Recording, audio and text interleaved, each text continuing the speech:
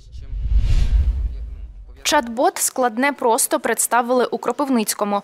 Розробка та реалізація чат-бота проводиться ініціативною групою активістів за сприяння управління молоді та спорту Кіровоградської обласної військової адміністрації у межах співпраці UNFPA та громадської організації інноваційні соціальні рішення за підтримки уряду Великої Британії. Застосунок створили для молоді з метою запобігання гендерно зумовленому та домашньому насильству. Стосунки це іноді досить складно, і ми намагалися в цьому чат-боті е, якомога простіше надати інформацію стосовно власне складних стосунків, які іноді виникають і в молодих людей. Е, Це і токсичні, і аб'юзивні стосунки, і е, навіть домашнє насильство або сексуальні домагання.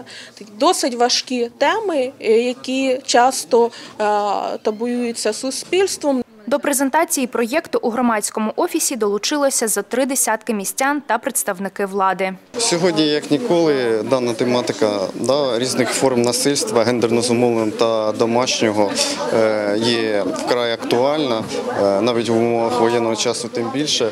І дуже приємно, особливо, що ініціаторами даного реалізації даного проєкту виступила саме наша молодь, е, яка популяризує дані цінності, принципи гендерної рівності. Чат-бот зручний у користуванні та містить вичерпний перелік інформації. Він буде корисний не лише постраждалим від насильства. Він також допоможе користувачам визначити, чи є їх поведінка аб'юзивною, зазначила заступниця начальника ОВА Катерина Колтунова. Молодь не говорить по телефону.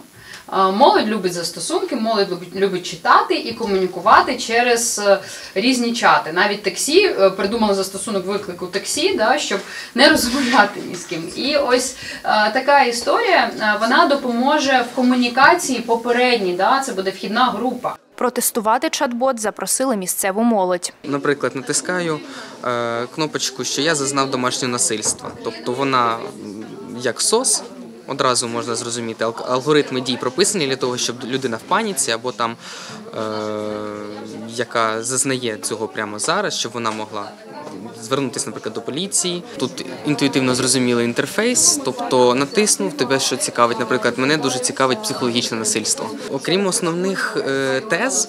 Е, Дуже важливою є інформація, куди звертатись за допомогою. Тобто не тільки написали номер е, поліції, які знають з дитинства, а і номери телефонів контактних груп, які можуть допомогти в тому, щоб якійсь проблемі Під час презентації авторки чат-бота отримали зворотній зв'язок. Цю інформацію вони планують використати для удосконалення проєкту. Анна Гончаренко, Сергій Баранюк, телевізійні новини СІБІН.